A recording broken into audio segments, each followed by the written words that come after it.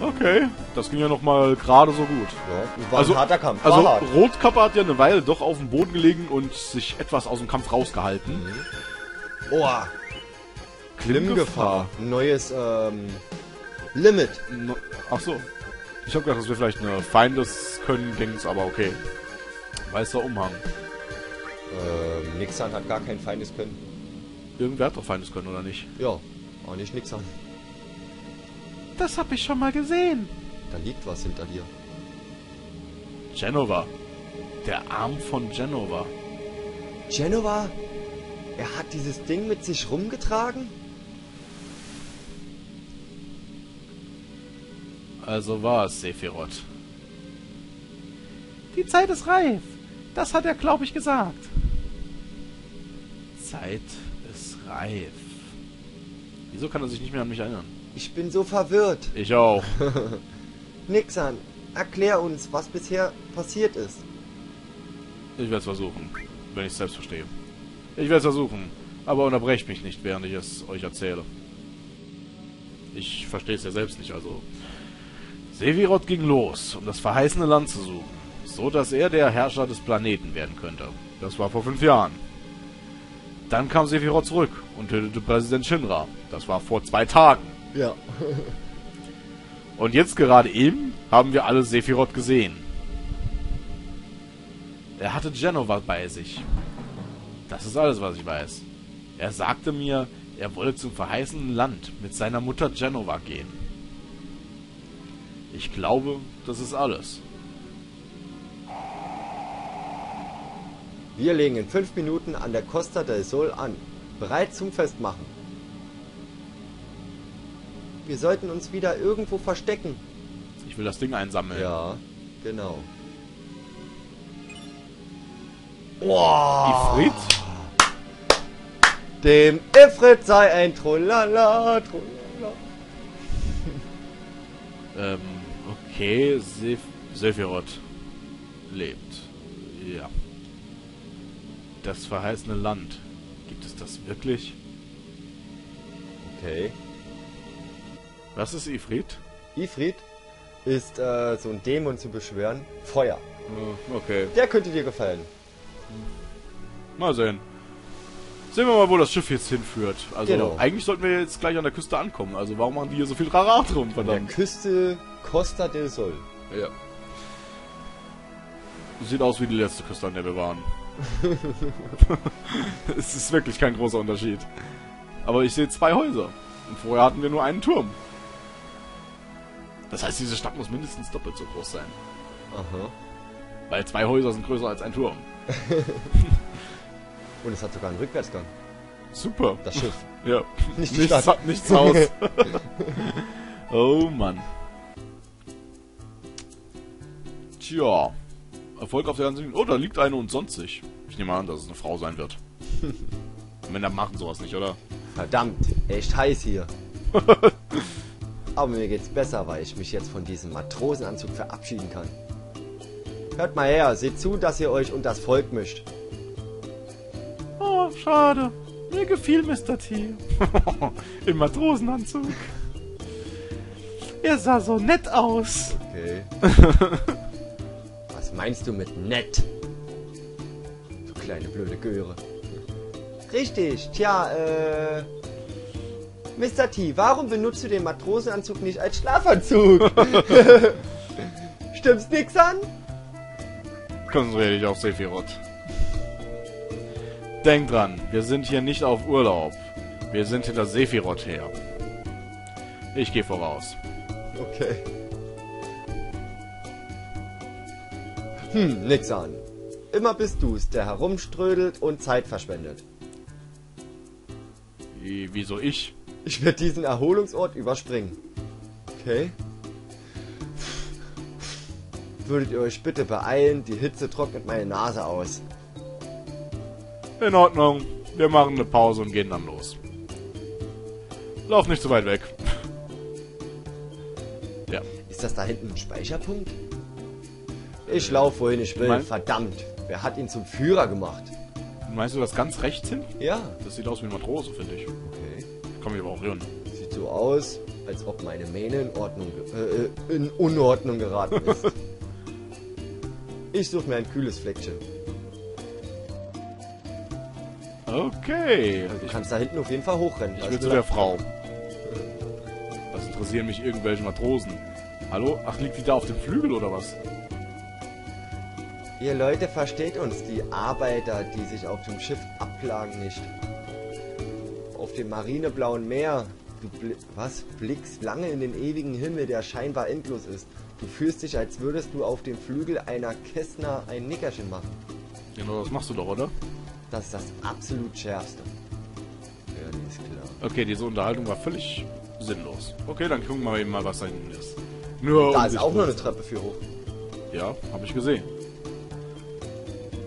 Aber das sieht für mich nicht wie ein Speicherpunkt aus, was da hinten rumsteht. wa? Oh Mist, der Manager von Shinra will nicht herunterkommen. Obwohl der Präsident geschäftlich hier ist. Er spielt immer nur...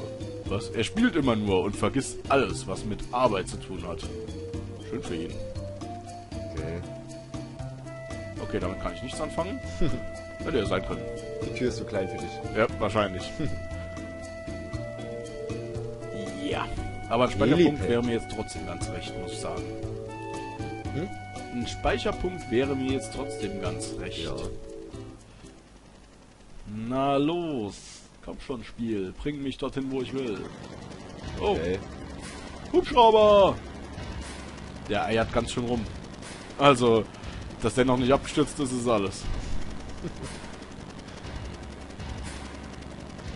Ach, das da hinten soll der Helipad sein, das Ding da. Mal hochgelaufen sind. Wäre irgendwie naheliegend, ja. Oh, ist das nicht die Musik aus der Shinra-Villa? Ja. Ich kann mich dran erinnern. Und, das Ein Glück haben wir die hinter uns. und da kommt schon wieder dieser fette Kerl. Und da Heide. kommt unser Präsident. Das war vielleicht eine lange Bootsfahrt. Hm, gute Arbeit von allen. Ja, beeil dich damit. Ich habe gedacht, er soll nicht mehr so lachen. Ja, Sir. Keine Ahnung, wer das gesagt hat, aber ja, Da der Sir. Matrose, der steht. Okay. Ich habe gehört, Sephiroth war an Bord. Ja. Und es scheint Nixon und die anderen waren auch an Bord. Ja. Alle durch die Lappen gegangen. Diesmal hast du es wirklich großartig vermasselt. Heidegger. ich bin sehr beschämt. Total. Ist das alles? Einsilbige Antworten geben uns für alles und für alles entschuldigen? Fertig zur Abweit äh, Abfahrt, Sir. Okay. Ey, ja, ja, Wollte ja, er nicht ja. sagen Abflug? ja, wäre irgendwie sinnvoller. Ne? Ja. Tu was, ich will Resultate sehen. Genau, tu was. Heiliger. Hm, diese Szene mussten sie jetzt so in die Länge ziehen, oder was? Oh, tu was, Joel. Der wirft erstmal ein paar Matrosen ins Wasser. Und jetzt noch den anderen Typ da hinten. Ja. Oh, die Tussi tut sich aber lange so noch, Alter. Heidegger ist gut drauf, ne? Hat beste Laune. Schöne Sache. Schraub, schraub, schraub, schraub, schraub, schraub, schraub. Das war nicht schlecht. Allerdings. Uh, Ferienparadies. Oh, guck mal, da unten sitzt einer. Mhm. Gut gebraunt. Costa, Costa del del Sol. Sol. Dann gehen wir da oben durch die Tür. Meinst du, da ist ein Speicherpunkt drin? Ja, bestimmt. Naja, nachdem hier ja scheinbar keiner zu sein scheint. Ja, vielleicht ist es ein Hotel. Guck mal, da hinten ist Red. Ja. Das sieht zumindest genauso Er aus hat wie sich Red. ein schattiges Plätzchen gesucht. Also gut, gehen wir doch mal da rein. Ja, da sind auf jeden Fall mal Betten. Speicherpunkt sehe ich jetzt nicht, aber eine Kellertreppe. ja. Hey du. So ein weiches Bett, tolles Gefühl. Ja. Ey, ich will doch gar nicht da rein. Verdammt! Ich treffe den Gang nicht. Eieiei. Und hier hätten wir irgendwas am Boden liegen. Wow. Kraft. Und da hinten ist eine Truhe. Kiste. Ja. Ja, Sir?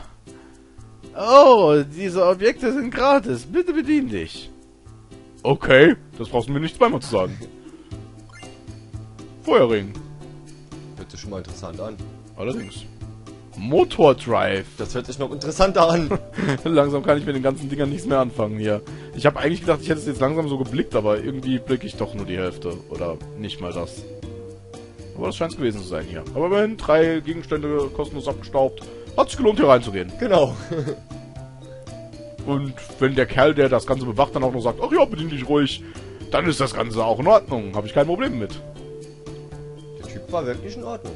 Ja, Wollte kein Geld von uns. Bar. In der Bar ist, eine Bar ist kein Hotel, also ist das kein Speicherpunkt. Nehme ich mal an. Ah, Ich habe so die Vermutung, dass es hier noch viel zu tun geben wird. Oh je. Es sieht mal schwer danach aus. Es ist ein belebtes Örtchen.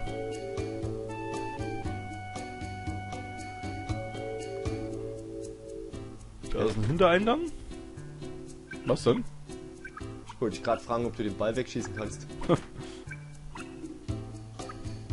Was hat der für einen Anfall? Kann ich in das Bad rein? Der spannt bestimmt. Da ist doch Annie am Duschen oder Baden. Ja. Was ist mit dir los? Ey, bist du's? Wir waren beide in Soldaten, davor Freunde als Kinder. Du warst so ein Playboy. Und ein Mörder. Warum kann ich mich nicht an dich erinnern? Ich bin nix da. Du meinst, du bist gut genug, um überall damit anzugeben, wer du bist? Ich will's nicht hören. Hey, kein Gemurmel mehr von mir. Von jetzt an führe ich ein neues Leben. Wenn Der. Typ hat ein totales Ding am Es tut mir leid. Er hatte. Ach so, das ist die Tussi. Es tut mir leid. Er hat in letzter Zeit mehrere große Schocks und ist ziemlich deprimiert. Ja. Okay. Von mir aus. Ich habe gedacht, das wäre entspannter. Ich auch. So, so. Ähm. Auf der Suche nach dem Speicherpunkt. Ah, in. In bedeutet, das ist irgendeine Übernachtungsgelegenheit. Ja. Und wo ich übernachten kann, da kann ich auch Speicherpunkte finden. Manchmal. Oh, das könnte natürlich auch nur eine Kneipe sein. Stimmt.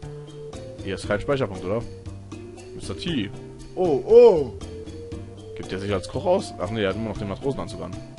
Hm. Marlene, bist du okay? Du siehst hier nicht zufällig einen Speicherpunkt. Nein. Wäre aber mal Zeit, ha? Ja. Also langsam so ein Speicherpunkt wäre echt nicht schlecht. Es wäre mir jetzt. Geh mal da recht. rechts runter. Oder äh, Wo? ganz am Anfang konnte man doch links unter die Brücke durch. Ja.